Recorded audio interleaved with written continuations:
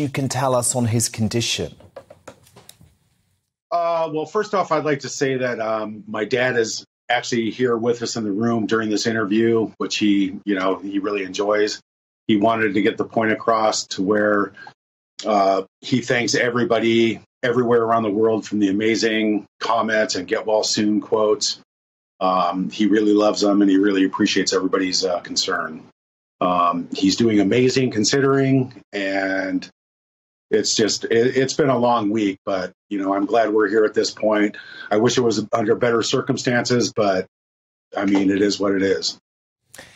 Well, indeed, let me just say to Thomas Sr., we're so sad, Thomas, because of course you were meant to be in the air right now, joining us in London tomorrow for a very special week at the Platinum Jubilee. But Thomas, you will get on that plane. Might just take you a few more months. And Thomas Markle Jr., I believe your dad has a message to the Queen as well. Yeah, Dad wanted to say that um, he was very, very much looking forward to attending the 70th Jubilee uh, celebration. He really wanted to be there. Um, he sends the Queen's he sends the Queen's his best regards and and but he will be there soon. He will be there at a future date, and maybe then, maybe then they can have their their meeting. Oh, we're going to hold you to it, Thomas. The plane ticket is just on hold, okay? It's just on hold. It's not cancelled. We're going to bring you to London, uh, come hell or high water. Do. Yeah. Now, now, Thomas, there are a couple of things I wanted to pick up on because the Sunday Mirror front page at the weekend claimed that your sister Meghan had been in touch with your dad and was intending to reconcile, but wanted to cut both you and Thomas's other daughter, Samantha Markle, out of the picture. Is is that true at all? Well, let, let me uh, be very clear on what I say next. Um, this actually happened prior to their wedding. Um, probably caused my dad some some problems there as well. But Meghan had contacted my father saying if he wanted to come to the wedding, that he had to disown myself and my sister Samantha. So maybe that still applies to her, or maybe that's what she's still thinking. But that's that's definitely what happened. Um, and to answer your question, Dan, um, she made no attempt whatsoever at all to contact my father. I've been with my dad the whole week. She still has the same phone number she's had forever. My dad still has the same phone number. She could have called, she could have texted. So, yes, it's a completely fabricated story about she tried to contact and reach out. Do you think this is about publicity, Thomas, to try and make it look better for Meghan, given that she's done this quite crude publicity stunt by flying halfway across America uh, to visit the scene of, of the mass shooting in Texas. And this week she's planning to still visit the UK for the Platinum Jubilee despite not seeing your dad. Does it just feel like this is publicity? She's wanting people to think that she's trying to solve things with your father? I honestly don't know what Meghan's agenda is. I'm just telling you from my standpoint of view, it's totally wrong what she's done. It's it's it's just um, it's the most insensitive, inconsiderable thing I've ever seen in my life.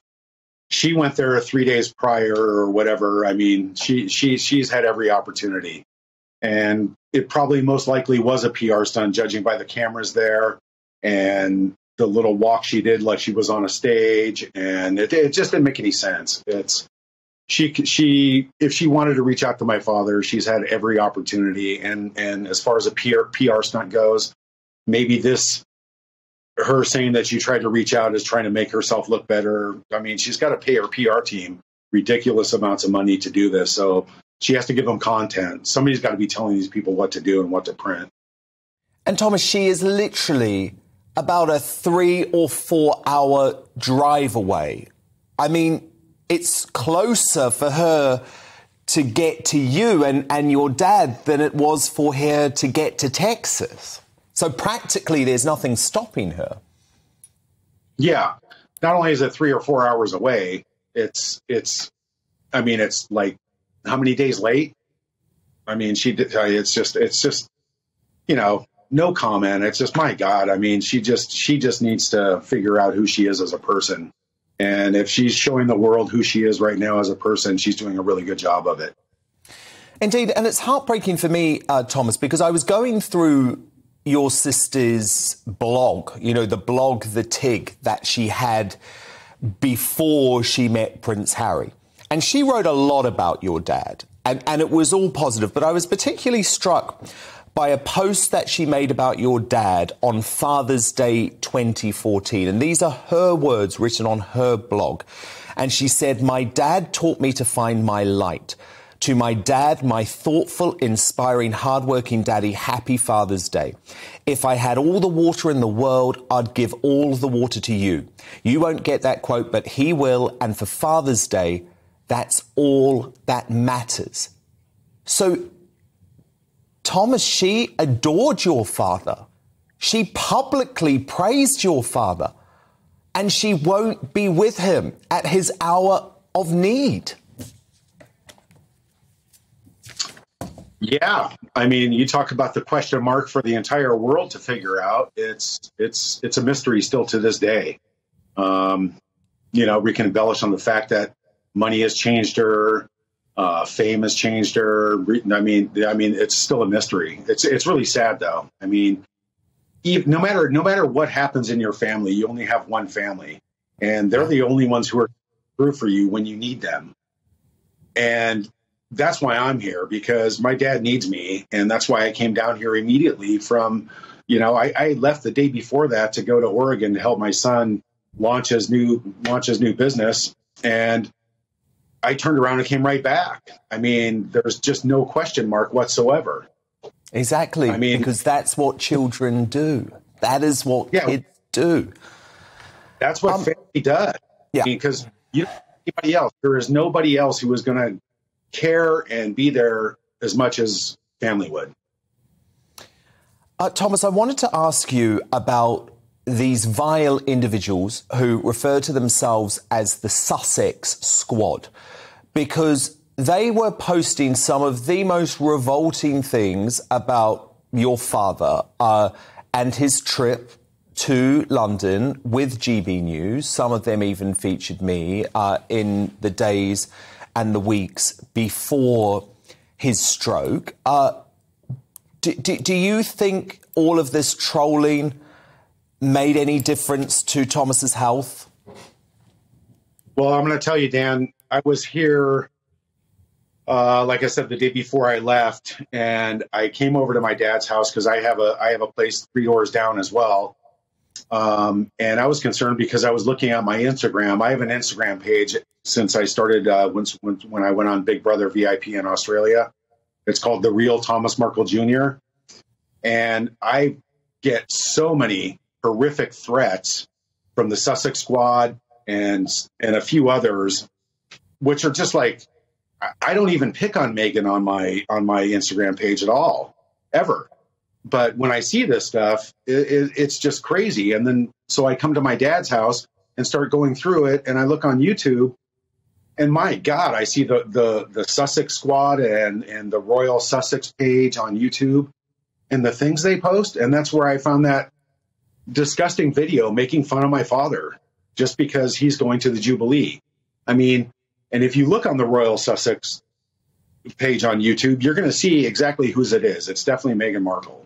And and if it's not her personally, she's definitely paying somebody to do it. And it's just. Do you wrong. think she's involved? I absolutely. I mean, somebody somebody's footing the bill for this. Okay, we allowing... obviously haven't seen evidence of, of that, but it, that is a that is a one theory. I, I don't I don't have 100 percent proof. I'm um, just saying somebody. Yeah, T- Thomas, can I can I just ask you? You're obviously uh, your father's voice for the moment because Thomas, very sadly, has lost his speech. Uh, we know he'll get it back. It's going to be a long road. There's going to be a lot of physical therapy, a lot of speech therapy. But as it stands, you are his voice uh, on planet Earth right now. Can I just get you to speak directly to your sister Meghan and say what you would like her to know and what you would like her to do for your dad? Well, at this point, I, you know, it, it's it's kind of hard. I mean, um, that's one question that me and my dad did not go over prior to this interview. I, I would say that, I mean, a day late and a dollar short times 10, maybe. You know, I mean, I, I don't know what she can do at this point if it's going to mean anything if she actually tries to reconcile with my dad or reach out. Um, I don't know. It, that's a good question, Dan. Um, I would just like to say to Meg, I guess myself, um, you know, stop stop the vicious PR attack.